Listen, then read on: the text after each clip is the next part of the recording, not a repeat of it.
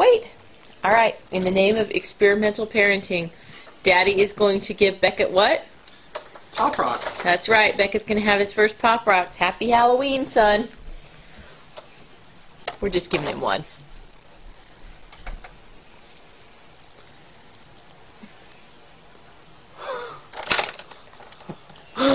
what is that? What's going on in your mouth?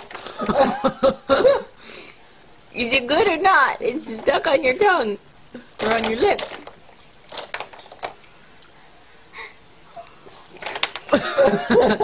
it's good stuff, huh? Yummy pop rocks.